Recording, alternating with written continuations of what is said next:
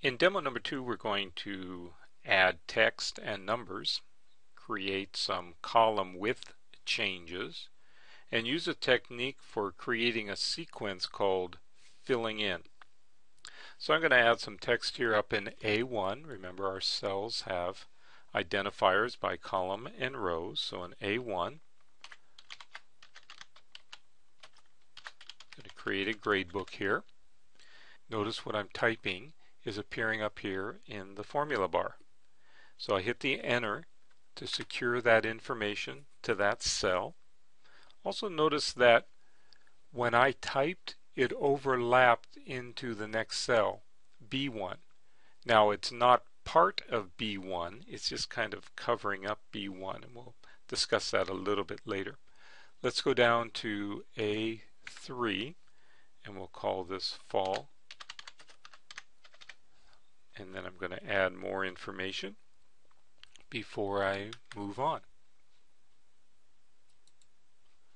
So I've added some more information and notice these column titles I created in row 5, student name, when I first typed it, it overlapped just like CIS 120L gradebook overlap. But the minute I put something in B5, this word 1, it doesn't show anymore. It covers up that portion that overlap because something is in B5. It's not transparent anymore.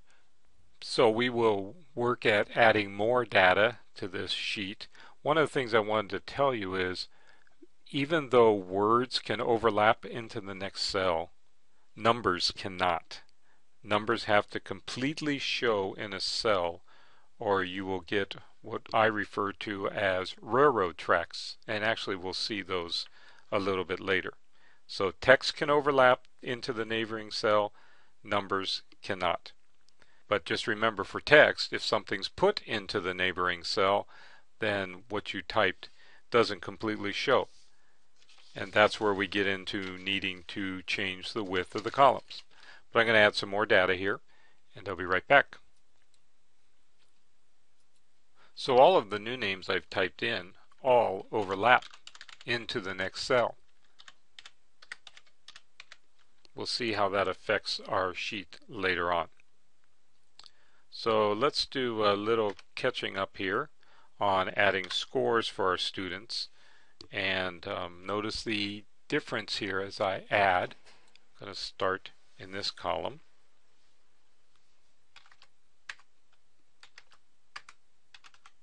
Notice what you see about the alignment. Words by default align to the left. Numbers by default align to the right. I will finish adding my numbers here and we'll be right back again. So I finished adding my numbers, the scores, and using the keypad I wasn't really looking up much and I look up and see that Fred has a score of 600. Well that's not quite right. So correct it at the formula bar means I use my cursor up there, add numbers, correct it at the cell means I just retype the number that's supposed to be in the cell. Well, it came to my attention I left out four of the scores here. So let's take some time to widen column A so that when I type in these four scores, I won't be covering up the names. So now I'm going to change the width of column A. I go up between A and B and there's a separator. When I put my cursor over it I get a double-headed arrow which allows me to change the width. Notice box appears telling me the width. The first number in that box is identifying character width. Okay, so at 9.86 and so on and so forth as I move it to the right. The second number in parentheses is what's referred to as pixels and there are 72 pixels in an inch. So it's just another way of identifying a length, particularly when you're dealing with text, is in pixels. So if I stop right now, I'd be at 106 pixels. Another way of changing the column is to be in that column. just identify some cell in that column. Go to Format over here on the ribbon and change the column width. What pops up is the number and the number is character width, not pixels.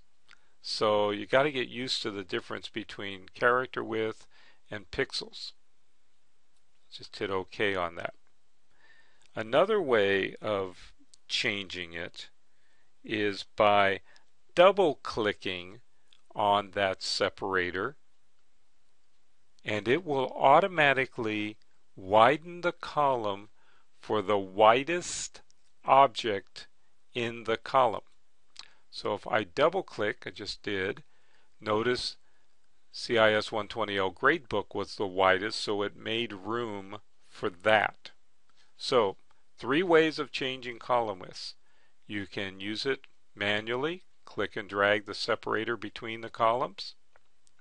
You can use format column width, but remember that's in character width. Or you can double click to fill it out to the largest item in the column. So just remember those particular things. Now when I type in my missing numbers,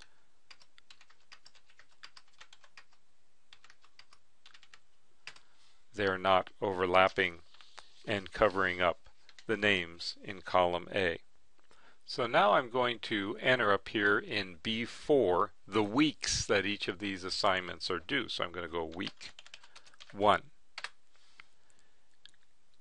Hit the enter key to secure it, go back to that cell, and in the very bottom right hand corner we have what is referred to as the fill handle. There's enough intelligence in Excel that when I click on the fill handle, notice it becomes a crosshair, and I move in a particular direction, it automatically recognizes, hey, this is a sequence. So it is filling in the sequence for me. I don't have to type the remaining four weeks. It automatically does it for me. And you'll notice that it previewed as we moved and also we get this box right here, the auto fill options pull down, which basically says, I didn't really mean to do that. I wanted week one all the way across. So that would be copy cell. I wanted the fill series, which is what it did for me. That's the default. Or I wanted to fill the formatting only, or fill without the formatting if I had B, B4 formatted. So the fill series is what I want to keep. And so we've looked at adding text, adding numbers, changing column widths, and even a quick look at creating a sequence. We'll do more of all of those in another demo.